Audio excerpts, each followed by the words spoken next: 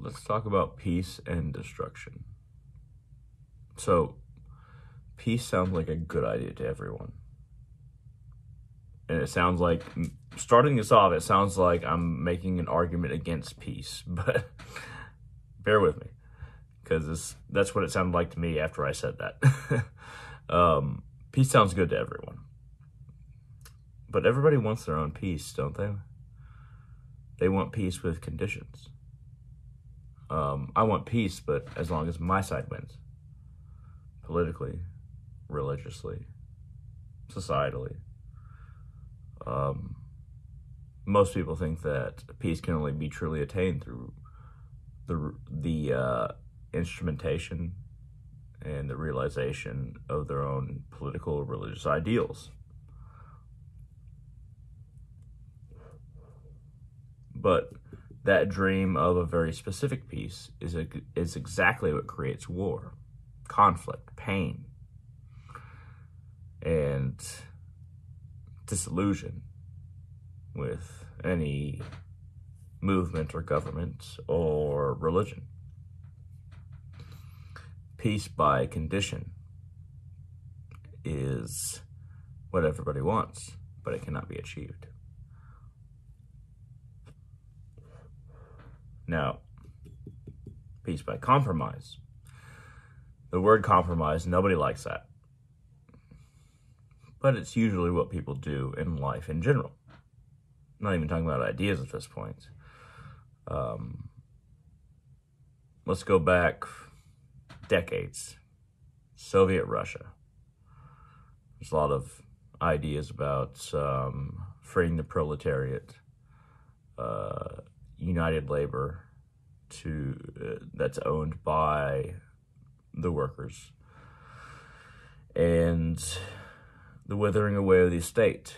Eventually, once everybody is together and cooperating, then the state will wither away, and there will be uh, there'll be a level of freedom that humanity has never seen. It's the idea, Soviet Russia, not just Soviet Russia, but I'm using that as an example, and we're using you know the example of about thirty, no, no, not thirty, about forty years ago.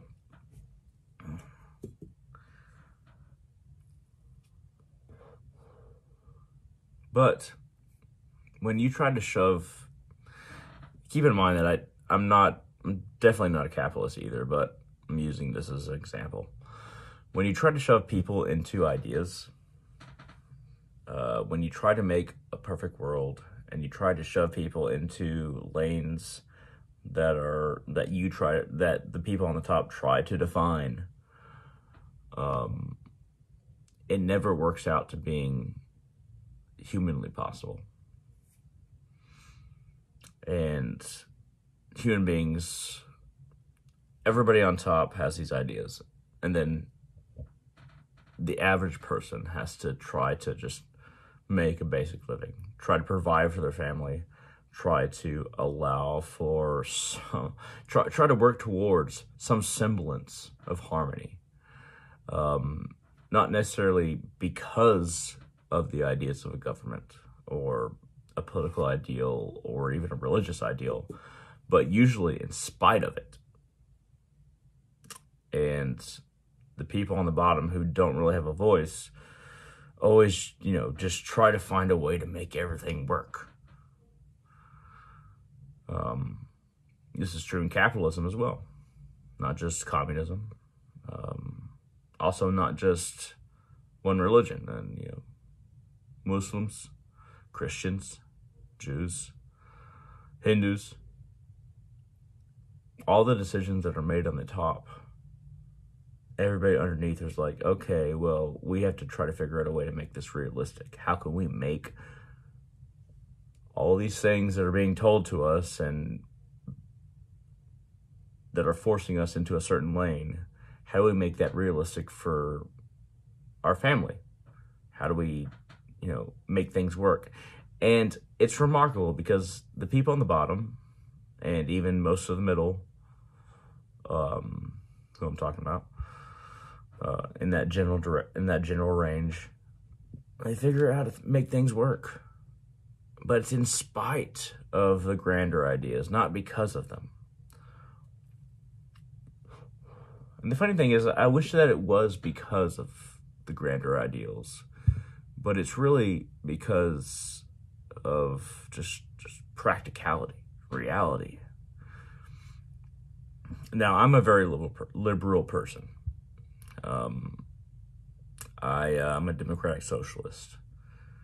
But at the same time, I also see that no matter, you know, those are my grander ideals.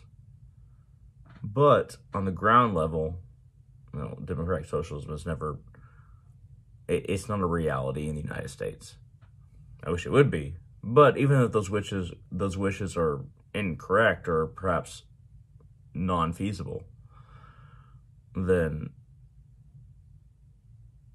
despite that, we see that everybody on the ground level, they're just trying to get food, water, freedom, prosperity. And the reason why I went kind of into this spiel is because I was watching The Expanse, and the most recent episode was uh, this belter. It's God, it's really hard to describe The Expanse.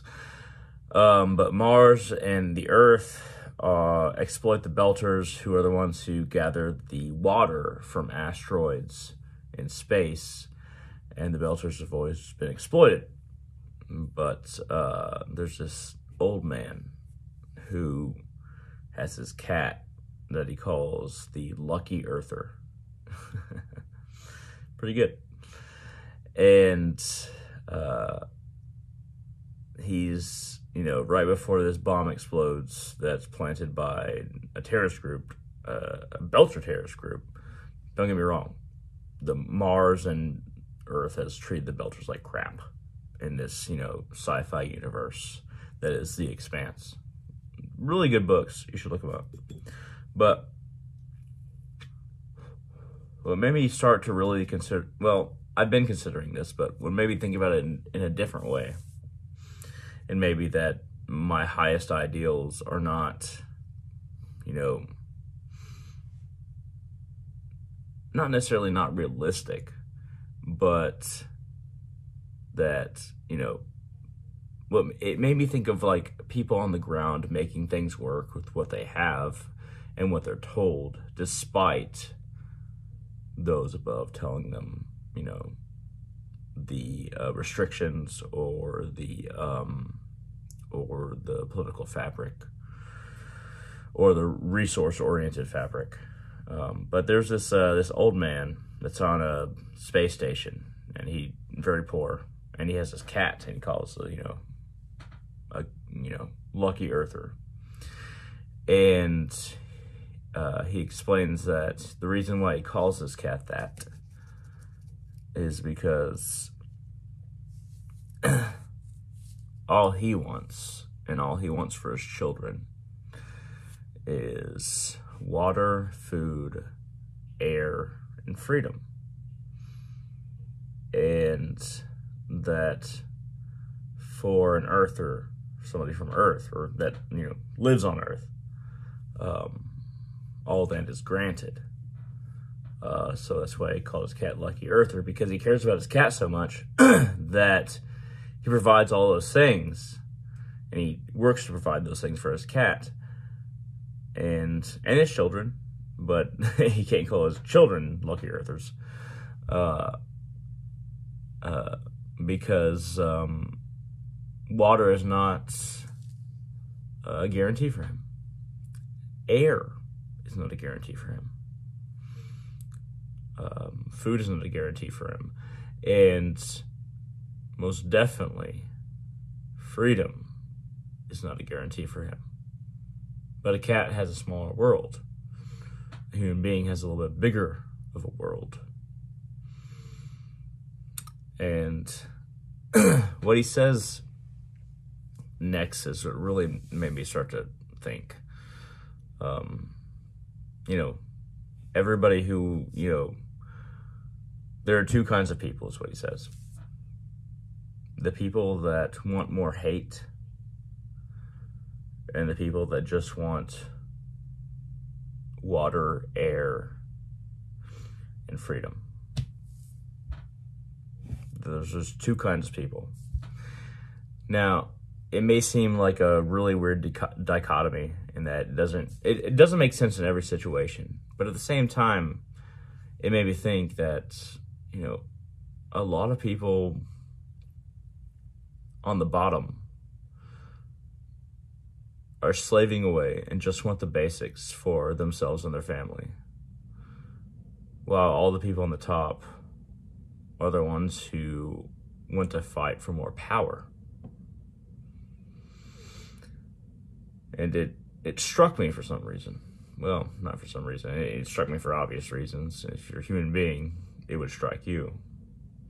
Um, if you start considering the same things. But regardless, uh, but peace and destruction. There's a lot of people who talk about cleansing fires. There's a lot of people who talk about what it takes to uh, make a more pure way of being, pure existence. Uh, there's even a lot of left-hand pathers who say, you know, uh, Baal is like a cleansing fire. Satan is like a cleansing fire. Um, you know, you hate the forest fire, but it gives rise to fertilizer and new life. True. Destruction does leave way for something else to grow, especially if it's, you know, proper destruction.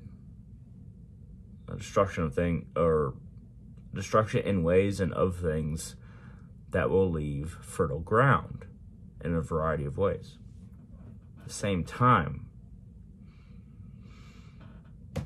we should not be someone who does the destruction because we want this to happen. Destruction should be it should be something that happens, not something that's that's enforced, um, initiated, embraced. Destruction will happen. You don't need to do it. You don't need to be the one who decides you are an agent of destruction in order to bring about what you think you need to bring about. But that's kind of how it works, isn't it? Because those who want a different system also think that they are the cleansing fire. The cleansing fire will exist by itself. Don't be the one who destroys. Don't do it. Be the one who tries to preserve for as long as possible. Because if you take the mantle of destroyer, expect to be destroyed. There's an old saying among Hindus when Dharma is protected, it protects. When it is destroyed, it destroys. If you destroy, if you decide to be a destroyer, to bring about more fertile ground or a better future, uh, better future, understand that you yourself will be destroyed. And don't be mad about it. Don't be sad about it. And don't expect anything else.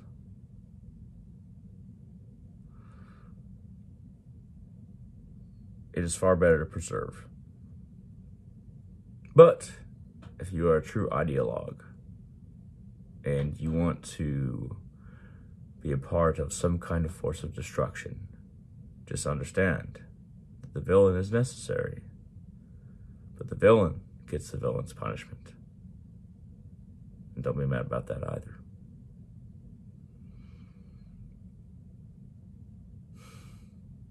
Peace. Peace. the funny thing about peace is that it's best to sit back and observe unless innocents are being directly killed, literally.